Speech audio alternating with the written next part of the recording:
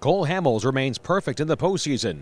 The 24 year old left hander kept the Tampa Bay Rays off balance Wednesday night as the Phillies took the opener of the World Series 3 2. Before a sellout crowd of over 40,000 at Tropicana Field, Hamels kept his focus, scattering five hits over seven innings while striking out five. Uh, you just have to, uh, I guess, take a step back and know that you have a job to do, uh, no matter how loud it gets.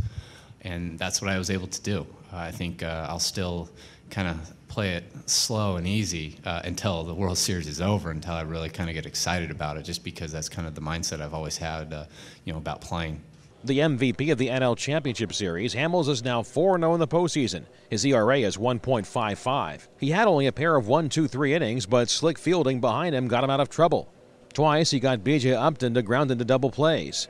Hamels says he benefited from extra rest. Before Wednesday night, he hadn't taken the mound since October 15th. The layoff, uh, you know, I think for a starter, it's almost better sometimes just because it gives you more time to heal up. The loss went to Scott Kazmir, who was selected two picks ahead of Hamels in the first round of the 2002 amateur draft.